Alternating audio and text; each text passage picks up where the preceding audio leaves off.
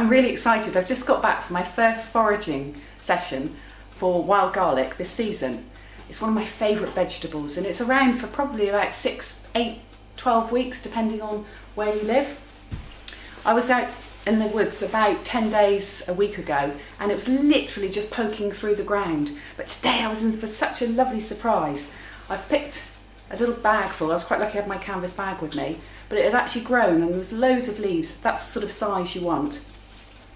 If you've never tried it before, it is absolutely gorgeous and you can use it in place of spinach. Make sure you wash it properly and have it with stir fries, curries or with a roast dinner as a vegetable dish. But my favourite is if you make it into a pesto. I'll pop a recipe on the screen for you. It's really easy to make, tastes gorgeous, especially if you've got a spiralizer and you do some courgettes and just mix the, the homemade pesto into it. It's fantastic at this time of year. It's really cleansing for you. And so that's my health tip this week, is to get, get out and do some foraging and make the most of the wild garlic that's there for free.